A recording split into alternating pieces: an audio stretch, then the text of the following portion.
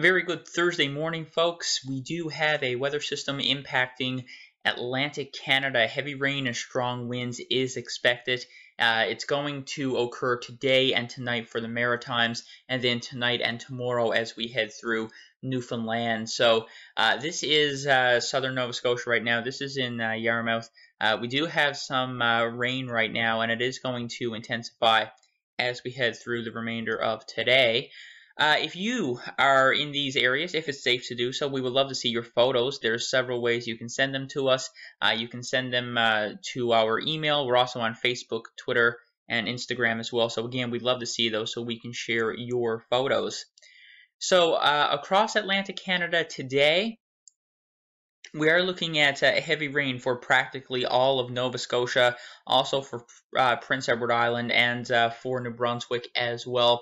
Uh, across the majority of Nova Scotia, we are looking at the potential. Um, we are looking at the potential for uh, up to 40 to as much as 60 millimeters of rain before uh, conditions begin to improve.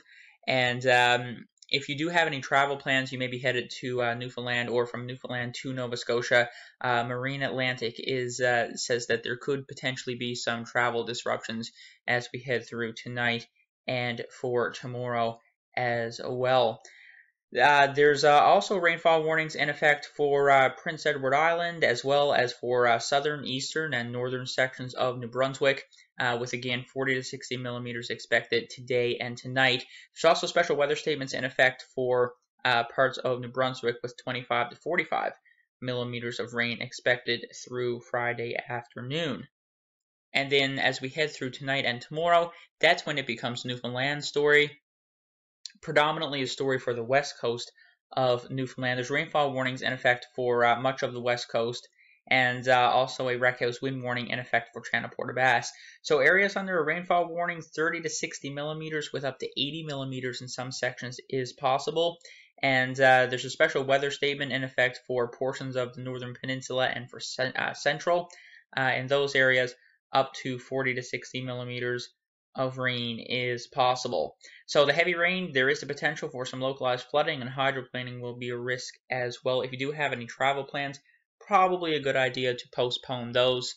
Uh, we are looking at the potential for some thunderstorms today across portions of Nova Scotia and uh, Prince Edward Island. Any thunderstorms that develop should be non-severe in nature. You can check out our website for the latest information. You can also download our free Android app. It is available on the Google Play Store.